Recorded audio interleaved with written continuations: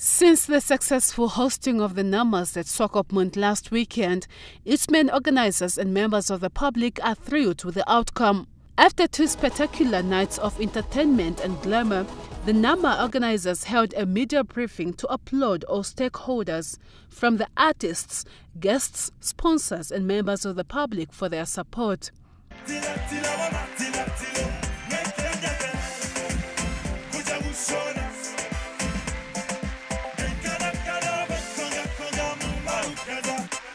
Beautiful and overwhelming performances, a glamorous stage set, beautiful people and clothes made the event a memorable one.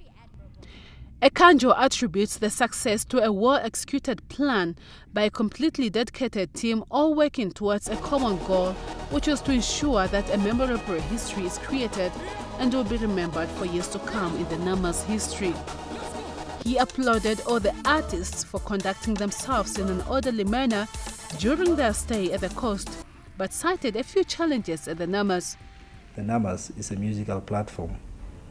Uh, a, the common denominator at the Namas is music, and that unites us, irrespective of what political party you're from, irrespective of your religious background, your social background, your economic background. The Men Awards ceremony was watched by many Namibians live on NBC TV and by over 8,000 live streamers from Russia, Ukraine, the US, the UK, and South Africa. And we have seen now really the role that we are playing.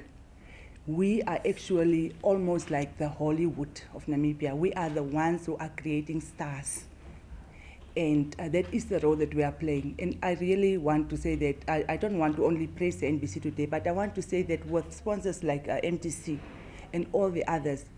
The date of the prize giving ceremony is yet to be announced.